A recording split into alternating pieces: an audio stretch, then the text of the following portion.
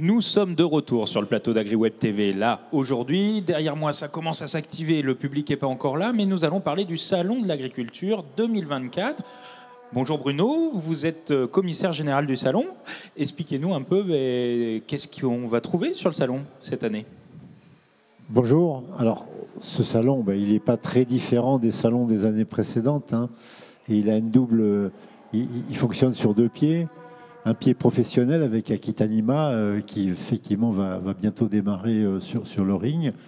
Et puis, euh, et puis une partie plus grand public, puisque ce salon, il a la, vocation aussi d'informer, de, de communiquer auprès du grand public sur ce qu'est l'agriculture et sa réalité aujourd'hui en Nouvelle-Aquitaine.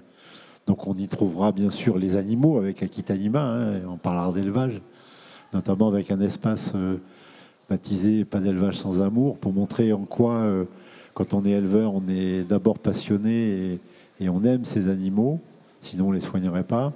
Et puis bien sûr, une partie alimentaire, euh, c'est important hein, de, manger, de bien manger. Donc euh, avec euh, l'Agence de l'alimentation Nouvelle-Aquitaine, avec le marché des producteurs, le concours des vins, l'Institut du goût de Nouvelle-Aquitaine. Et puis en extérieur, une partie plus dédiée à l'amont de l'agriculture, enfin en tout cas à la, production en tant que telle, partie consacrée aux semences, une partie consacrée euh, au machinisme avec euh, Aquitaine Cap Conduite hein, pour passer des baptêmes de tracteurs. Par de exemple. tracteurs, on pourra essayer effectivement. Et puis euh, tout un espace très dynamique consacré à la fois, euh, alors d'un côté, euh, emploi, métier, formation de l'agriculture, qui a beaucoup de succès. Donc là où on aura à la fois des perspectives de carrière et on expliquera comment pouvoir se former à ces métiers.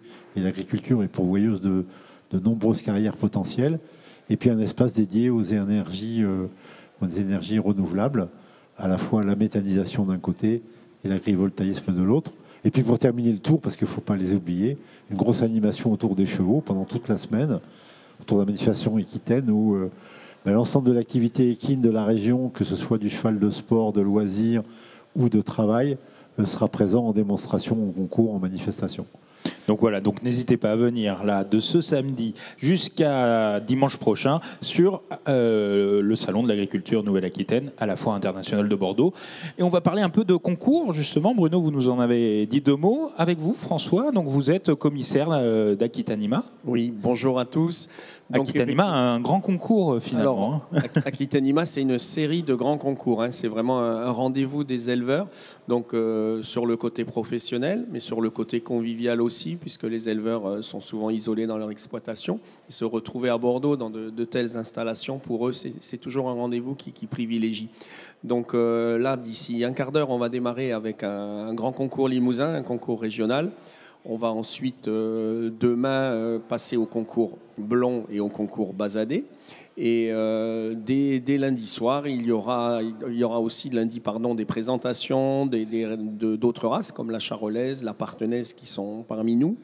Et lundi soir, donc, il y aura un grand changement puisque là, on est un peu plus de 350 bovins qui vont repartir en, une heure, j'espère, et euh, seront remplacés par euh, une, plus d'une centaine de vaches Primolstein. Donc là, c'est pour un concours laitier, pareil, d'envergure, euh, même au-delà de la région Nouvelle-Aquitaine, puisque euh, l'Auvergne euh, nous fait l'honneur de venir en force cette année. Donc Aura, on dit maintenant d'ailleurs. Mais euh, Auvergne-Rhône-Alpes, Oui, voilà. Auvergne-Rhône-Alpes. Et donc du coup, euh, le ce concours laitier aura lieu mercredi. Et euh, j'oublie pas aussi la, la- la journée de, de- de mardi qui sera dédiée aux ovins, puisqu'il y aura une, une journée sur le- des concours de, au niveau des agneaux. Dernière chose, on a quelque chose qui est en train de monter, c'est la participation des lycées agricoles. Donc euh, les, élèves, on propose aux élèves de venir mardi faire un concours de pointage, c'est-à-dire de, bah, de faire comme nos juges, de, choisir le, le meilleur animal du concours. Et ça a démarré petitement il y a quelques années. Et là maintenant, on va accueillir plus de 15 lycées agricoles de la grande région, ainsi que plus de 100, ans- 100 jeunes qui vont concourir. C'est un record pour Aquitanima, donc on est content. Si on a les jeunes avec nous, c'est que quelque part on ne se trompe pas sur euh, le message qu'on veut faire passer. Exactement. Donc là, on suivra un peu ce concours de jeunes pointeurs. Ça va être intéressant. Euh, J'avais une question. Aquitanima, c'est un concours euh, bah, qui a une résonance assez importante. C'est assez Alors, essentiel pour les races. C'est ce que Voilà, vous disiez c'est tout à ça, l'heure. c'est ce qu'on disait. C'est le côté pro, le côté convivial hein, qui est très important. Hein, la marque Sud-Ouest, on, y tient. Bon, vous savez qu'en France, il y a d'autres concours. Hein. Les races elles-mêmes font leur national tous les ans. Les éleveurs ont, à peu près 4 ou 5 rendez-vous euh, annuels. Mais, mais, celui de Bordeaux fait partie des, grands rendez-vous et qu'on veut faire perdurer le plus possible. D'accord. Bon, ce salon, qu'est-ce qu'on peut souhaiter pour ce salon, Bruno, euh, de cette nouvelle édition Du monde qui vient, du grand public, des discussions? à la fois, euh, effectivement, bon, que, le public soit au rendez-vous de, nos professionnels. Euh, bien évidemment, c'est aussi un lieu, alors on ne l'a pas évoqué, mais vous l'évoquiez, un lieu de, débat, d'échange. donc ça, effectivement, on a un certain nombre de réunions qui vont avoir lieu, mais aussi de, conférences, ne serait-ce que sur ce plateau également des, échanges sur différentes thématiques. Euh, donc ça, c'est le côté, je dirais, effectivement, accueil du public. Après, bah, côté professionnel, que les professionnels continuent de, voir que ce type de manifestation pour communiquer vers le grand public est, utile et, qui, nous aide à, le faire perdurer.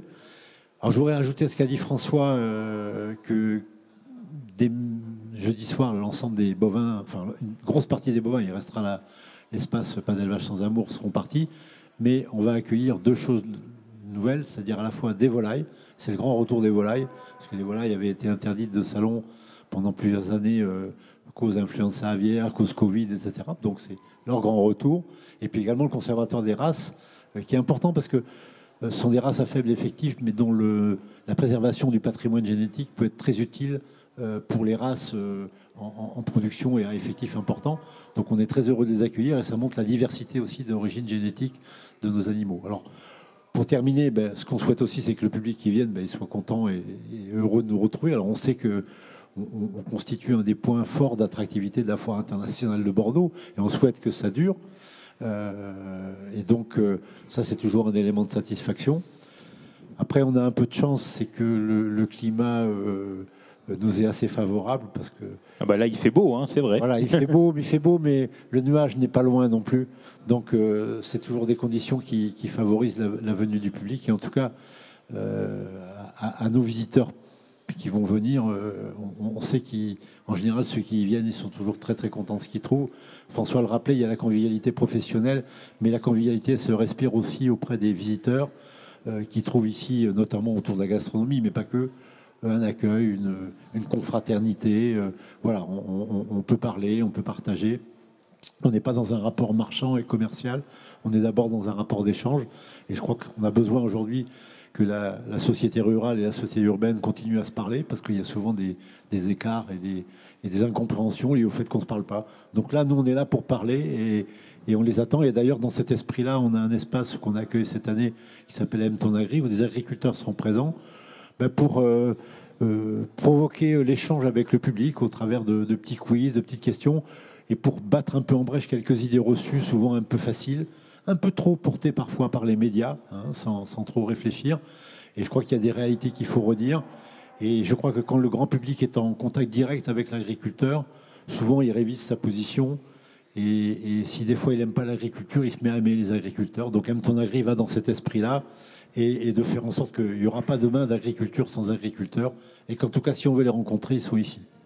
Bon, mais parfait. Donc, en tout cas, vous nous avez donné envie de venir ici au salon. Bon, je vous souhaite un très bon salon, Bruno, François. Et puis nous, on se retrouve pour une nouvelle émission sur agriweb.tv.